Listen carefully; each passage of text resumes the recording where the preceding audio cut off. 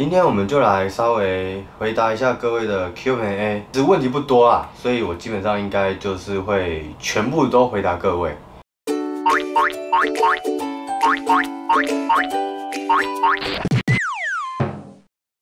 好，我们就先来看第一个问题好了。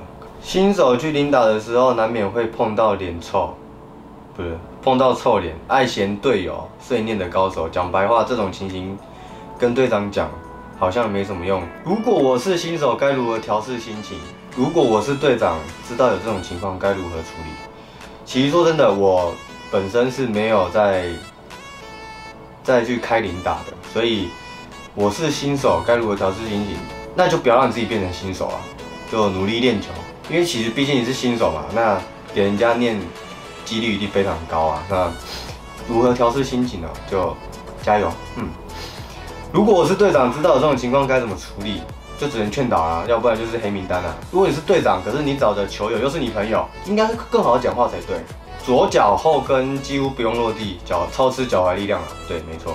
出社会之后很久没有打球，最近去外面打打场地，挥空拍的几率变多，该如何调试？哦，并不像选手一样可以天天打球或练球。呃，其实我们呢，在过年的时候，或者是我们要去比赛，多多少少会遇到这样的情况。只要知道一个东西，就是你的动作，你的动作不要变形。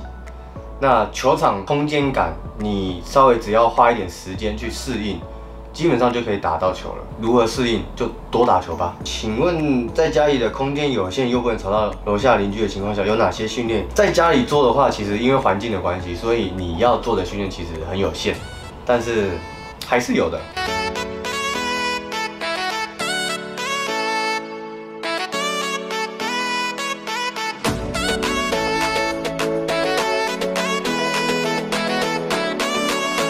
请问郭嘉练目前为止最喜欢打的球拍？目前最喜欢打的球拍是胜利的太九九。为什么会喜欢？是因为以前高中的时候几乎都是拿那个球拍，而且它的拍型我还蛮喜欢的，再加上它又是偏拍头重，所以比较符合后场啊。然后为什么选手都爱穿 BG 八零？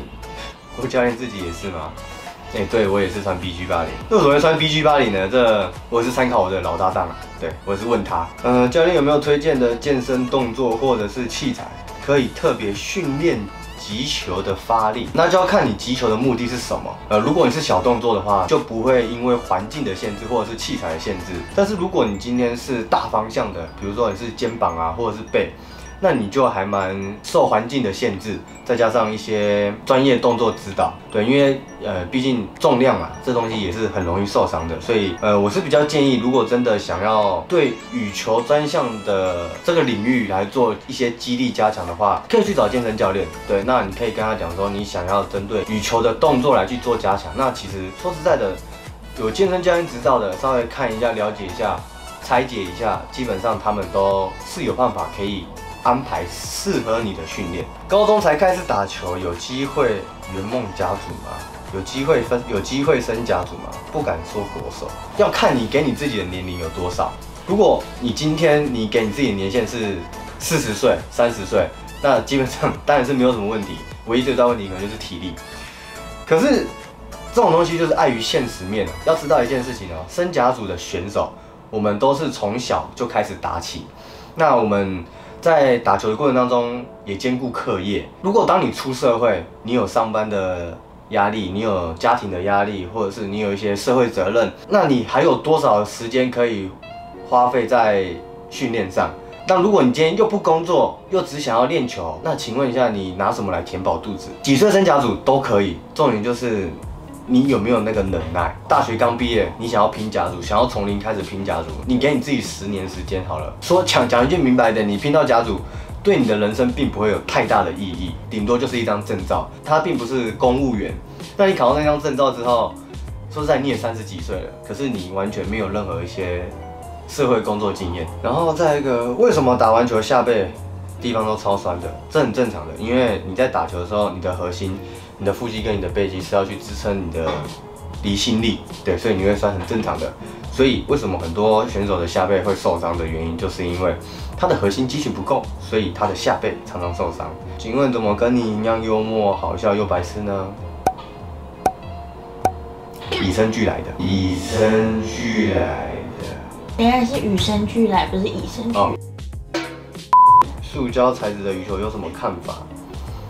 非羽球感到排斥，因为那个就是对于塑胶球啊，我有一次经验，就是在高中的时候，然后在高中的时候，塑胶球一颗球就被我杀爆了，所以我对于塑胶球的感觉就是不耐打。但是现在可能跟那时候又不一样了。什么看法哦？我觉得没什么看法哎，就是环保吧。对，但是对于选手的球感来讲，又是另外一个领域了。对，因为大家在练球都是拿羽毛的，所以其实手感是不一样的。呃，请问郭嘉恩是否会穿线？如果会的，如果会的话，是否可以分享你的学习历程？穿线这东西有什么学习历程啊？啊，不就是洞跟线之间的东西吗？穿线我国小就会了，因为我家里以前是卖体育用品店的，所以有时候在家里我会帮忙帮忙穿线。那到了国中之后才开始学拉线。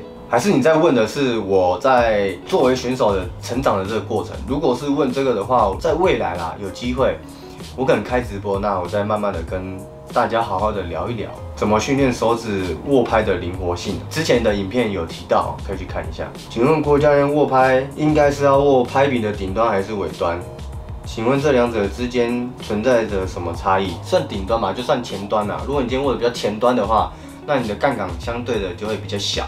那你的挥拍的摆速频率就会快，尾端的话，你的摆速频率自然的就不会那么高。也有人给你的回答，发大力是握尾端，然后发小力是握顶端，哎，是没有错的。最根本的概念呢，就是杠杆，因为杠杆会使你的挥拍摆速快慢与否。那基本上呢，我在后场重杀，我会握尾端，然后防守或抓球的话，我会握前端。所以我在这两者之间，球与球之间，我就会做改变的。那这个东西是需要去做练习的。错是不是觉得示范错误动作非常的难？嗯，超级难的。原则上 Q&A 的地方就是到这个地方。那如果呢还有什么问题呢？接下来会规划直播。那如果有兴趣的观众朋友，也都可以一起在直播间稍微聊一聊。那我也是会打打游戏，然后跟大家聊聊天。如果大家想要知道我们科班的生活模式。